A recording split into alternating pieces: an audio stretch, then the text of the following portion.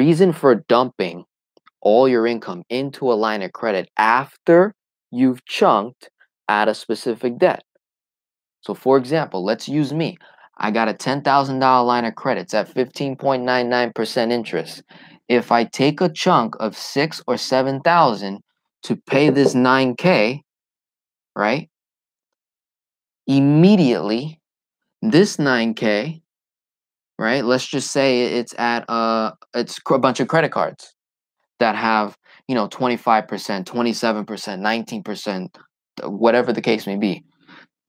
Just doing that alone would save me money. Okay?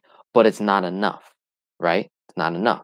So, after making that 7 6k chunk towards whatever amortized debt or credit card debt, auto loan, whatever the case may be, when we strategically make that chunk, you now have to solve for the line of credit because you just created the debt. Okay? So if I take my income and I and I all at once, whether you get paid monthly, bi-weekly, weekly, it's sporadic, your commission, doesn't matter. In a month, in 30 days, 30 days, all that goes into here.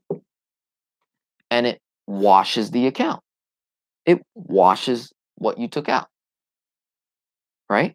And then throughout 30 days, you now are drawing, you're withdrawing expenses.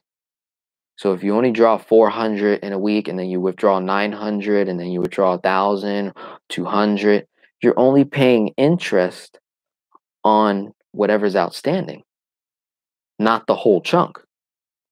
So that lowers our interest costs, which allows us to offset the borrowing effect, right?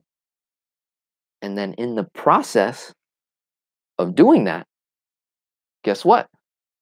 You're getting paid, whether it's monthly, biweekly, weekly, salary, commission, business revenue, whatever the case may be. And it creates this velocity, the speed at which you make transactions. If you do this real right, you can be ahead. You can literally be one month ahead on all of your bills. I have people who are like this.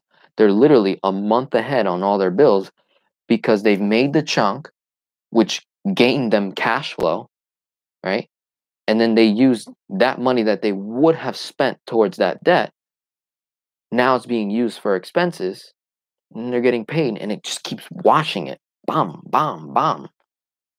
And then as soon as the balance what approaches zero or close to zero, we create another debt. We take another chunk and we keep going. Mm.